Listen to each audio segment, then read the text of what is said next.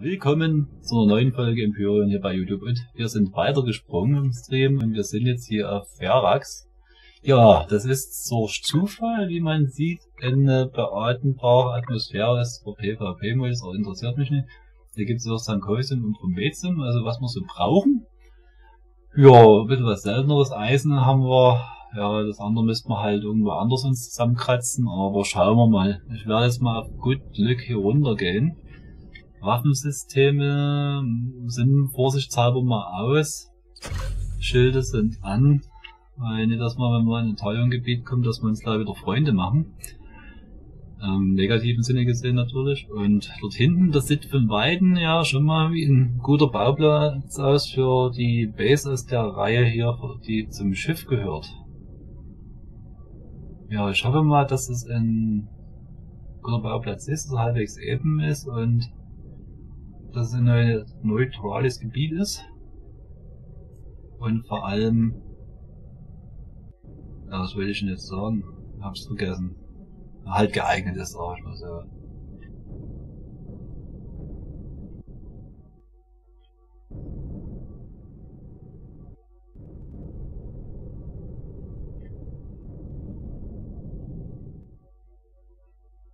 Ich lasse ihn erstmal laden.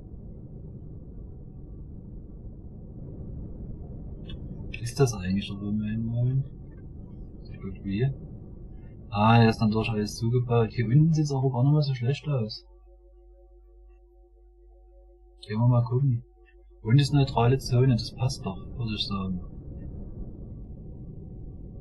Hier ist auf jeden Fall Platz. Oh, wir haben Glück, sage ich euch. Wir haben Glück.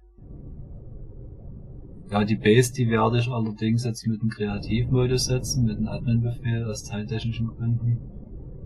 Und mal gucken, ob wir die kleinen der Folge mit vorstellen können. Also hier, das passt eigentlich ganz gut, muss ich sagen. Vom Bauplatz her und alles.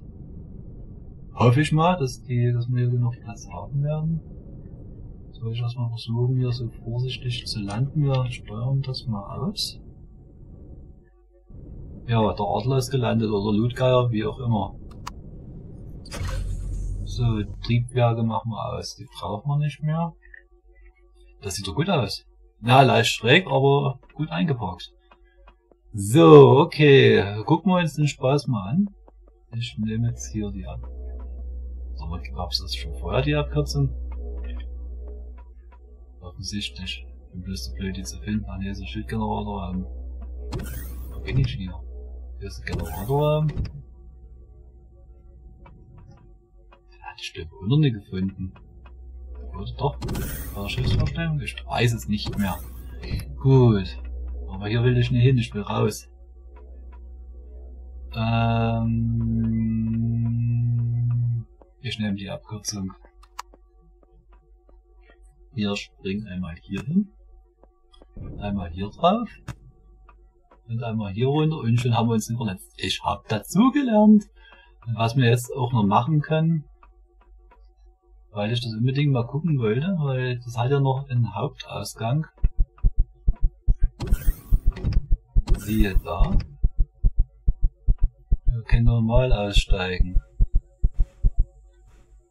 Ja, das sieht doch prima aus hier. Ich habe mal dazugelernt. Und da steht fast Kerzenkralle. Das sieht doch gut aus.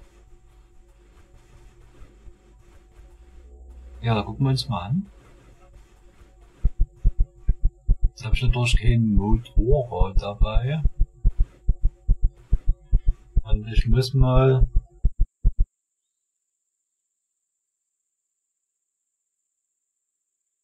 Ich glaube, dann mache ich die Base-Vorstellung gleich bis. Mal gucken, ob das jetzt funktioniert.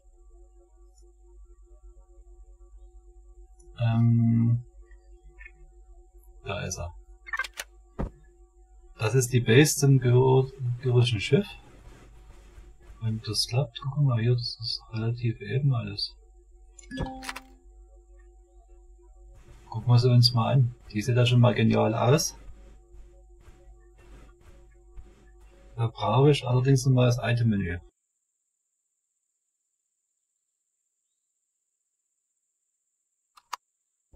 So, okay.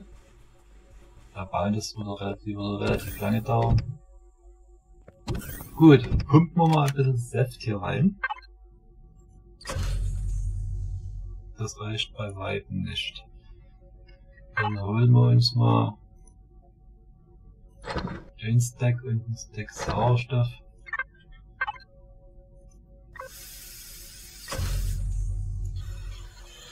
Das reicht auch nicht, okay. Dann haben wir noch zwei. Die verbraucht viel Energie. Machen wir so viel Zeug rein. Aber wir wollen dann gucken, ob sie schildern. Aber bestimmt. Ist das? Habe ich das zu viel? Das machen wir gleich mal als Zuhause-Spawn. Schilder hat sie? Okay. So, Basis hier, weil wir sie gerade gesetzt haben, unverändert. Hier haben wir einen schönen Hanger. Schauen wir mal auf die Werte.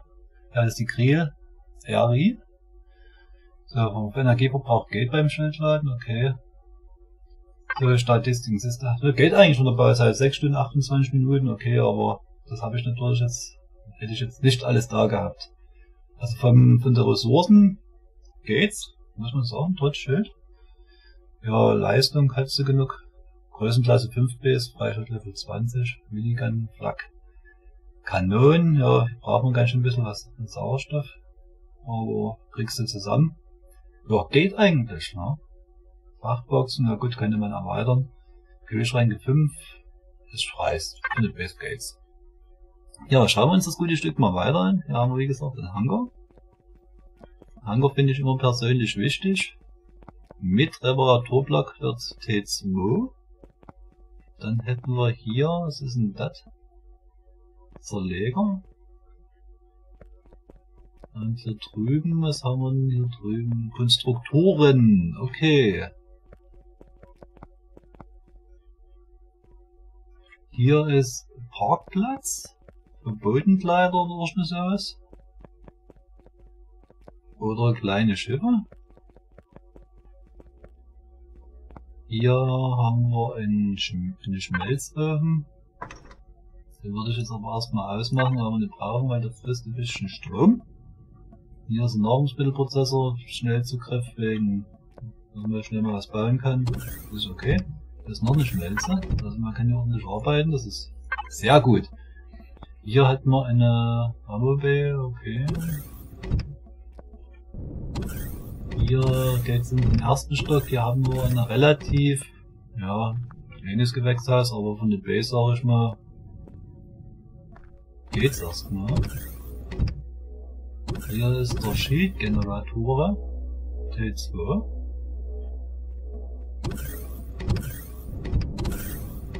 Hier geht's weiter, hier haben wir noch ein Bild, okay. Hier ist sozusagen die Küche. Hier geht's raus, hier haben wir noch einen Landeplatz. Ein Shuttle-Landeplatz. Nicht schlecht. Also bisschen was unterkriegt man auch.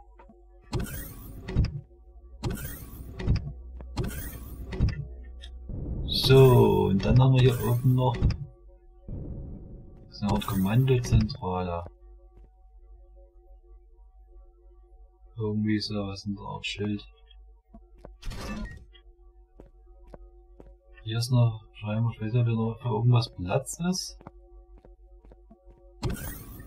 Aber hat die denn auch Quartiere? Gut, das ist jetzt nicht so wichtig, aber wenn man einen Multiplayer spielt, dass man vielleicht einen Rückzugsort hat. Krankenstation ist da. Aber ich das ist es schon. Gut, minimal gehalten. Geiles Baudesign. Gucken wir uns das nochmal von außen an, dann gucke ich, muss ich mal in den God-Mode gehen, dass wir auch was sehen. Ist ja komplett dunkel, wird wieder ein Spiel.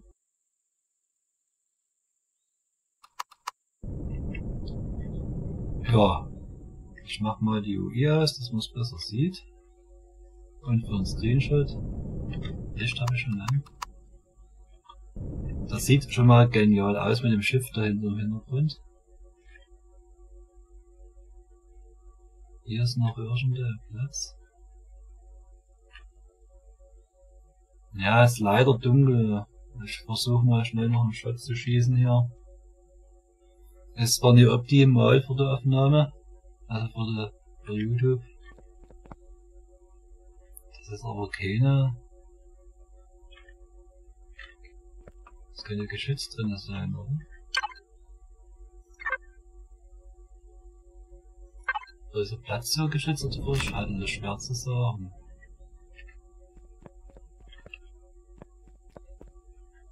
steht 100 Pro noch irgendwo was dabei. Für was das gedacht ist. Gut, lassen wir uns aber überraschen. Hier ist die Kommandozentrale. Sind hier Abwehrsysteme. Sieht schon genial aus, das Teil. Kannst du meckern. Also wieder volle Mühe von dem Entwickler. Wie gesagt, geiles Design. Hier ist der Eingang. Machen wir den Gott wieder aus.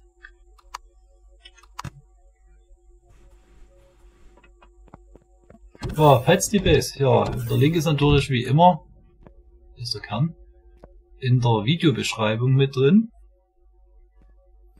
Und ja, ist die Frage, packe ich jetzt hier schon was aus? Oder, ja, ich würde aber sagen, wir bleiben an dem Ort, ich lasse die Base hier. Das ist ein geiler Bauplatz. Da kann man notfalls noch eine zweite Base dran planschen, wenn man jetzt das erweitern will, aber eigentlich reicht das zu, was ich bisher habe. Ich nicht, will mir mal was vorstellen. Ja, es kommen demnächst auch noch zwei Vorstellungen. Und mal gucken, ob ich das jetzt euch noch schnell zeigen kann, weil zu dem Schiff und der Base ist ja eine Serie und dem Shuttle, was dazu gibt, gibt's noch zwei Bodenkleider. Aber das gucken wir uns dann mal in der nächsten Folgen an, in den nächsten zwei Folgen an. Und dann müsste ich mal zwischendurch aber wieder mal ja ein bisschen auf Erkundungsmission gehen. Weil, ja, die Rohstoffe sind irgendwann mal alle. Wo ist denn der Eingang? War doch hier irgendwo. Hier ist er. Aber ich habe keine Ausdauer mehr. Da gibt's noch zwei Bodenkleider, die zeige ich euch mal mal anders durch mal so frech und spoilern. Aber wer jetzt schon den Workshop-Inhalt gesehen hat, der die Verlinkung mit drin ist, der weiß es sicherlich schon. Aber, um euch ein bisschen heiß zu machen, da ist der große Bodenkleider zu dem Schiff. Und dann gibt's noch einen kleinen Bodenkleider. Und den will ich natürlich auch noch testen zum, zum Farm quasi. Ja, den gucken wir uns dann später an. Dann danke euch fürs Zuschauen. Bis zum nächsten Mal. Tschüssi.